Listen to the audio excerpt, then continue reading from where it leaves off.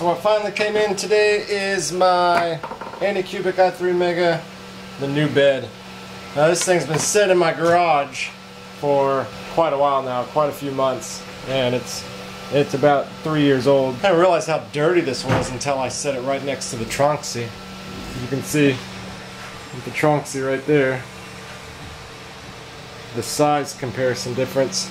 We're going to talk about this and fix this kind of at the same time. So what typically happens with an Anycubic i3 Mega more than anything is these bed cords get wore out. They become unsoldered or they break and you have to kind of go through and fix these or replace them. And throughout the time that I've had this Anycubic, you can see back here, I'll go ahead and take this off. I've already taken the twister parts off of it. I'll take this off anyways. After about three years of owning this, I have fixed this a ton of different times. The wire is all out of its protective sleeve. It's got all sorts of uh, tape here and there. And then it's been resoldered under here so many times that it's just ridiculous. So it's still a good bed, still workable. So what I'm gonna do with this one here is I'm gonna take this all off and change them out. And then I'm gonna clean this up and have a backup for later. But just the, this came all together, but this is actually the same exact thing as this. So this comes with the bottom part with metal, then it comes with the top part, and it's got a little sticky adhesive here that you can set on there. It's got all the screws and stuff that come with it. Now, when I first got this machine, up until I found this new one, I didn't know that they had these, or else I would have never even went through and tried to fix these as many times as I did. I would have probably changed this out a long time ago. You can fix it two or three times, but after that, it's just like you start running out of wire, things start looking really bad, and it's just kind of like, I'd rather just change it out. Make it better. So we're just going to pop this bottom off here. So we got to remove this bottom one first. And I've got a lot of screws missing in this just because I found that it's got so many dang screws. It's just unnecessary. Like this bottom part has the thing coming across here at the bottom. I only put one screw in it and I leave the other side off. It's got one, two, three, four, five, six, seven, eight screws to take off. When all you should really need is the corner screws or the corner bolts. These are called bolts. That's all you need is the corner ones. I don't put these on super tight or anything because I've been in and out of this so many times that I hate taking this thing apart. So we'll fast forward here.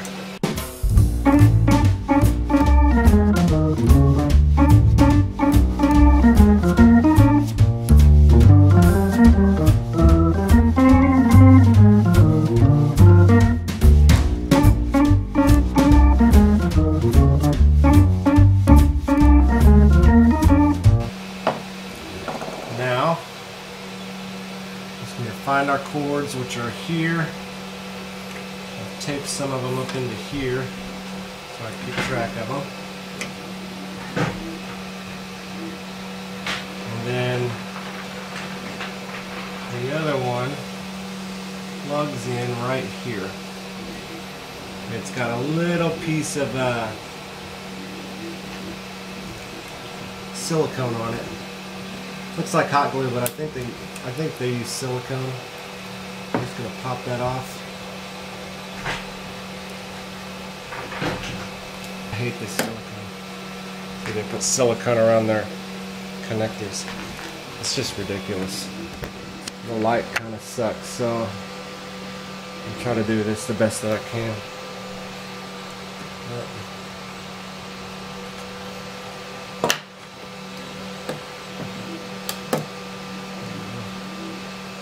Alright. I'm gonna Unscrew these.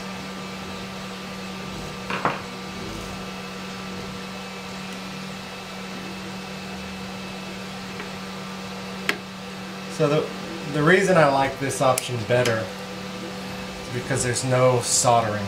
No um, you can see here, and I'll show you at the end of this video, kind of what I'm talking about. I had to, I didn't have another connection. So, I had to take different wires and split the wires and solder them together to the original connector because I didn't have another connector to go in there. So I had to keep that connector on. And it's just, it starts to be a jumbled up mess and looks really bad, looks really tacky. There's better ways to do this. You can get better wiring stuff. There's a lot better ways to do all of this. You can see that wires there. So here's the old one, and there's the wires. You see, all these wires have been replaced. The only original wires that are here in the original bed are this little part next to the connector. The only original, which were soldered there. The board's been all completely resoldered on. And you can see just kind of how messy that's gotten because it's been soldered so many times and changed out so many times. It just turns into being a real mess. Now before I put anything else on, I'm just going to put these through. And I'm going to connect them. I'm just going to stick all these in this hole where the other ones went through. Once I clean that up and get it rewired, I'm going to have a backup. But these wires don't last. That's the one problem with Anycubic is the wires just don't last as long. And I'm going to have to get a new fan as well. So these should go up underneath all of this mess.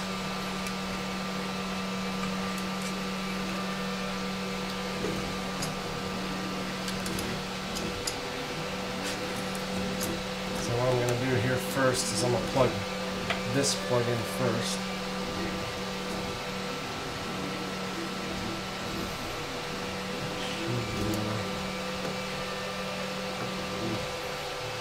More that silicone out of there. But I just, I hate the silicone. And I know they probably do this so you won't mess with their stuff. It doesn't have to be there. Alright, so that's in place there. And these can go underneath here.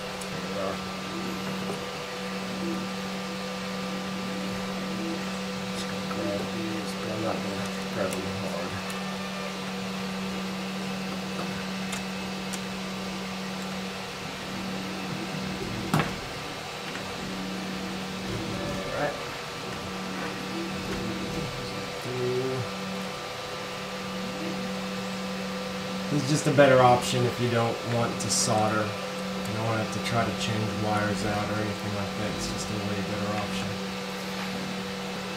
Take this.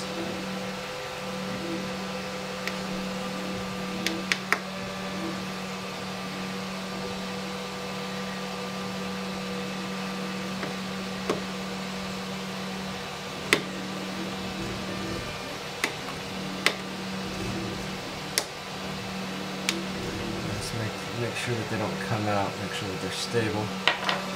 Now you can just kind of pull these wires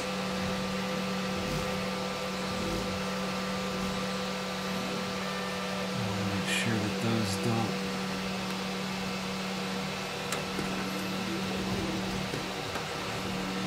Alright, it's good. That should be good. We're all done with the inside. That was quick.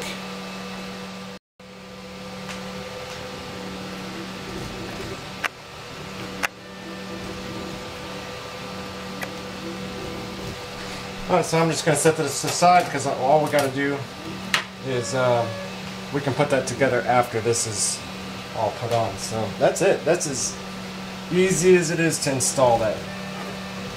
Super quick and easy fix. I'll tell you what, soldering this or breaking the wires and all that different stuff, like redoing the wires, that takes some time and it sucks. You gotta get the solder out. I'd rather pay $30 I paid for this instead of going through all that stupid crap. Well, I'm gonna clean this bed up, rewire the bed and some different wires and have a backup. So if this one ever breaks, I'm just gonna switch them back out. And it may take me a while to find that connector piece that I need, but I'm gonna find it. And anybody that noticed, I am putting this bottom on backwards. There's a lot of dust that goes on the ground. I got a bigger fan in here that if you didn't see that's right underneath here and it's big enough that it can suck air in through each side of this to blow onto the board. Um, but if you have this flipped how it's supposed to be, then it's just openly blowing everything, it's sucking everything off the table straight into the fan and into your board. It's a poor design. And so all I did is went in here and flipped it. And it does just as good. I haven't had any problems with it. So again, while I'm putting this together, this is an old Anycubic i3 Mega. About three years old. I probably should have switched the bed about a year ago. I've just kind of been doing repairs and stuff on it, and repairs, and it's just not the way to go. Alright, the bottom's fixed. We're to flip this over.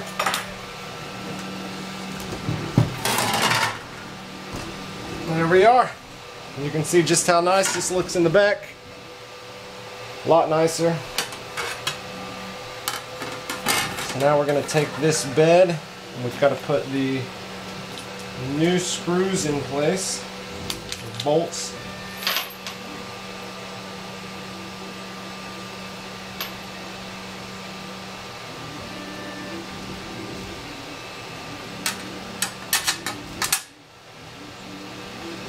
goes on. Then your, your washer goes on. Then your nut goes on. And do that for all four of them. So I'm going to fast forward through this process.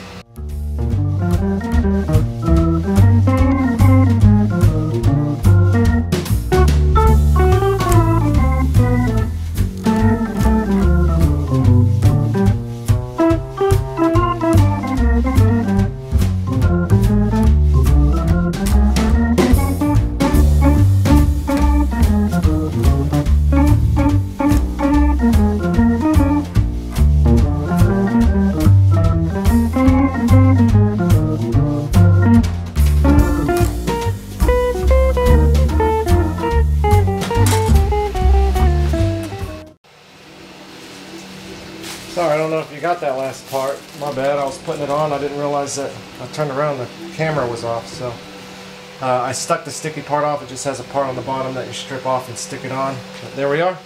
Brand new bed. This is all put together in no time. No time at all. I mean, I would have had everything shut down and I'd have been messing with this for at least an hour if I was chopping wires and doing all that stuff but just changing out this bed is so much easier. And now I'm going to take this old bed. Uh, I'm going to keep these wires here because they're actually better than those wires. These are different ones. I'm going to get some new wires for these and keep this connector right here. I'm going to unsolder this whole thing.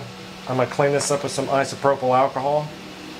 And I'm going to take a ribbon to this, this uh, solder here and get all that solder off isopropyl alcohol the whole thing to clean everything off. And then it's not as clean but it'll be a backup. So if that one does go down then I, I can slap this one on really quick and take that one and fix the wires at a later date on my own time you know. But that that looks that looks great. Just great. We're gonna plug it in and get this baby cooking I haven't, I haven't used the Anycubic i3 Mega in so long I'm so excited to use this thing. Make sure that we're all good on everything. Yep. Alright. And that's how you change that out, guys. Super easy. What you can do is be like me and just go through and every time a wire breaks, fix it. I did it probably a grand total of, uh, in the three years that I've had it, I've fixed the wires. I've probably had to resolder down here three times.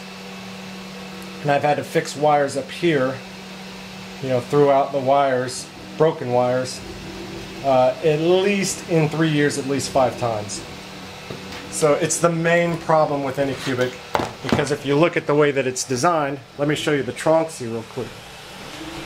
If you look at the way that the Tronxy is designed, it's got this wire that comes out here and it hardly bends at all and it's because of the wrap that's around it. It keeps it sturdy, it doesn't let it crease. See that? That's a really good system. But when you look at the Anycubic, it just connects back here to the back and you can see right here it's just a heat shrink wrap that goes around it just it's just a heat shrink wrap that goes around it. So when it goes back you can see it not only creases down but it rolls the wire. And the more it creases and rolls that wire is going to eventually break. No matter what I do it's going to eventually break. And it's the main number one problem with the Anycubic i3 Mega. And now that I know that they have this bed available I am excited. Because even if I don't get this one fixed, I'm just going to order a new one. And they're not expensive. I think it was like 30 bucks. So if all I have to do is pay 30 bucks every like six months, I'm fine with that. I really am. Because I love this printer so much. And anybody that has an Anycubic i3 Mega, you'll know that I, I mean, you just love the printer so much, you don't want it going down. It's such a good printer.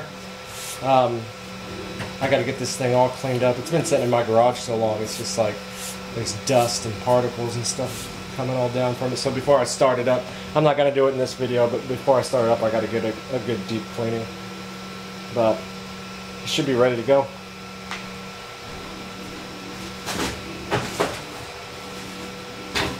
Set it in its spot, turn it off. Alright, my name is Bryson Michael RC. Make sure that you hit that subscribe button. Make sure that you hit that bell so you're notified when I put out new videos. And we'll see you guys later. Have a good one.